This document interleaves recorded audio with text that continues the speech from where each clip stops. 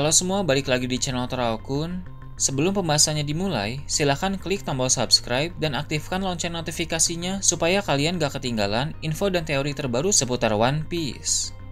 Buat kalian yang mau informasi tambahan soal SBS atau databook, kalian bisa follow Instagram Toraoku. Di sana admin akan memposting soal SBS, databook, dan berbagai teori singkat.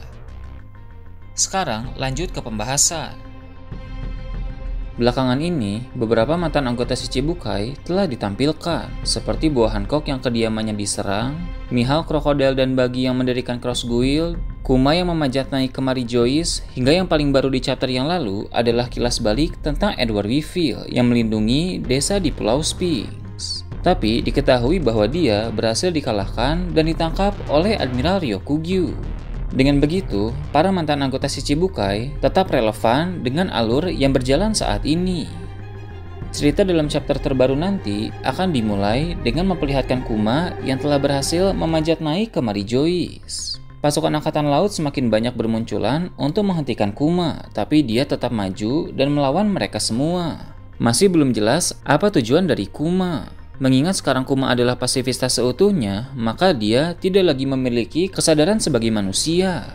Itu artinya, pergerakan dari Kuma menuju Mary Joyce merupakan suatu program yang tertanam di dalam dirinya. Pihak pemerintah dunia cukup khawatir dengan kemunculan Kuma, sehingga beberapa agen CP0 ditugaskan untuk menghentikan Kuma. Setelah itu, penjara bawah laut Impel Down akan diperlihatkan. Seperti yang kita tahu dari chapter yang lalu, saat Marcos sedang berada di Wano Kuni, desa Sphinx didatangi oleh pasukan angkatan laut. Beruntung Edward Weevil muncul di sana dan memukul mundur pasukan angkatan laut itu. Namun, angkatan laut kembali menyerang bersama Admiral Ryokugyu. Sang Admiral berhasil mengalahkan Weevil lalu menangkap mantan si Cibuka itu. Walau kekuatan Weevil sangat besar, tapi rupanya sang Admiral lebih unggul. Mengingat kejadian itu terjadi saat Marco berada di Wano Kuni, berarti sudah beberapa hari atau beberapa minggu yang lalu. Dengan begitu, sekarang ini Edward Weevil sudah ditangkap dan telah dijeblaskan ke Impel Down. Tahanan dengan kekuatan dan tingkatan ancaman seperti Edward Weevil tentu akan dikurung di level 6. Level 6 merupakan tempat para kriminal yang paling berbahaya. Selain Edward Weevil, ada juga mantan anggota Shichibukai yang lain. Dia adalah The Flamingo. Sepertinya, sel Edward Weevil akan berdekatan dengan sel Doflamingo, sehingga akan ada interaksi antara mereka berdua.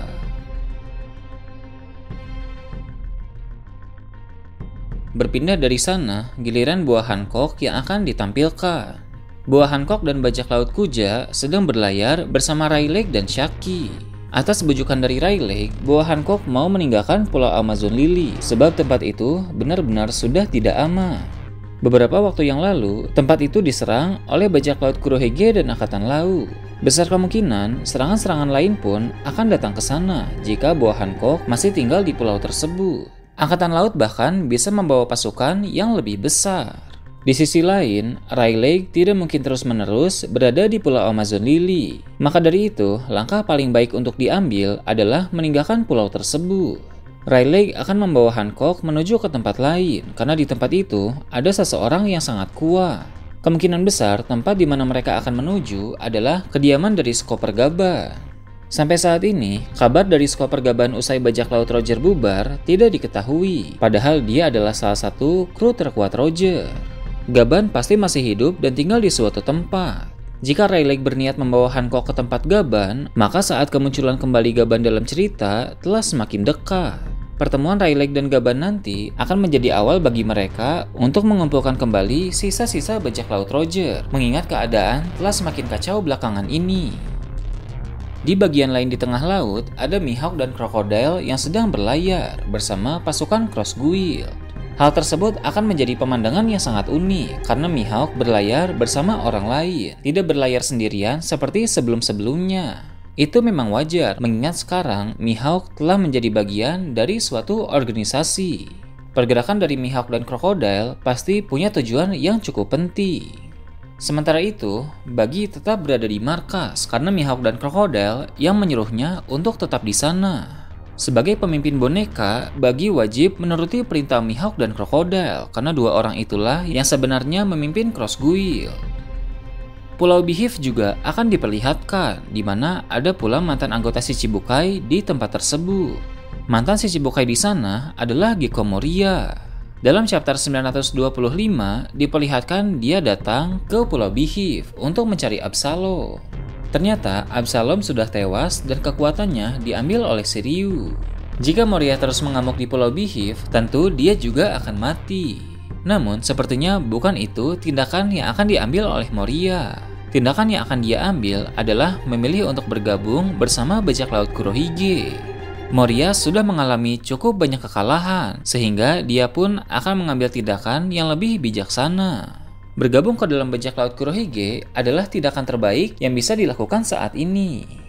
Dalam chapter terbaru nanti, Moria akan melihat ke arah lautan, di mana bajak laut Kurohige sedang mendekati Pulau Bihif. Itu berarti pertempuran antara Kurohige melawan Lau telah selesai, walau seperti apa detail dan hasil dari pertempuran tersebut masih belum akan terungkap.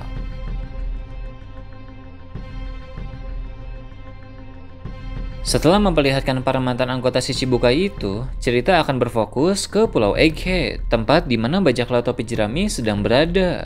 Para kru bajak laut topi jerami bisa tenang untuk sementara waktu karena keadaan sekarang sudah terkendali. Kaku dan Roblusi telah tertidur berkat Stussy, sedangkan para Serapim sudah dihentikan oleh Edison. Akan ada interaksi antara Edison dan Lilith dengan Stussy. Sementara itu, Luffy dan Chopper masih sibuk mencari di mana Vegapunk berada. Mereka harus segera menemukan Vegapunk karena mereka tidak bisa berlama-lama di Pulau Egghead. Kemudian akan diperlihatkan keadaan dari Karibo. Beberapa waktu yang lalu, Zoro telah memintanya turun dari kapal. Sekarang, dia berada di suatu tempat di Pulau Egghead dan menemukan Denden Mushi. Dia pun memakai Denden Mushi itu untuk menghubungi seseorang yang misterius. Lalu, Karibo menceritakan soal keberadaan senjata kuno Pluton dan Poseidon kepada orang tersebut. Seperti yang kita tahu, Karibo memang memiliki informasi soal dua senjata kuno itu. Dalam chapter 652, Karibo pernah bilang bahwa dia ingin membuat seseorang terkesan dengan informasi soal senjata kuno, yang mana informasi soal senjata kuno yang Karibo tahu saat itu adalah Poseidon. Sekarang sudah ada dua informasi senjata kuno yang Karibo ketahui karena di Wano Kuni dia telah mendengar pembicaraan bajak laut tope jerami tentang lokasi Pluto. Maka dari itu, sudah waktunya bagi Karibo untuk menghubungi orang tersebut. Siapa orang itu belum diketahui, tapi kemungkinan besar orang tersebut merupakan karakter yang sudah kita kenal. Setelah itu, bagian Pulau Egghead akan diperlihatkan. Armada Angkatan Laut yang dipimpin oleh Kizaru beserta kapal pemerintah dunia yang membawa Gorosei Saturnus sudah tiba di Pulau Egghead. Di layar monitor, Shaka akan melihat kedatangan dari sang admiral dan Gorosei itu. Shaka akan terkejut karena Gorosei tersebut juga ikut datang. Shaka pun akan berkata bahwa Vegapunk, para satelit, dan bajak laut topi jerami kemungkinan besar akan segera tamat di Pulau Egghead. Sedikit banyak, Shaka mengetahui seberapa kuat dan mengerikannya Gorosei itu, sehingga dia menganggap bahwa kemungkinan untuk lolos dari sana sangat kecil. Kedatangan salah satu Gorosei ke Pulau Egghead, apalagi bersama seorang admiral, memang benar-benar hal yang buruk. Kita pun akan segera melihat seperti apa kekuatan Gorosei. Nah itu tadi prediksi chapter 1074 dan ke depannya. Gimana menurut kalian? Silahkan tulis di kolom komentar di bawah. Oke segitu aja untuk pembahasan kali ini. Jangan lupa like, share, dan subscribe untuk video menarik selanjutnya. Gue Toraukun, Shambles.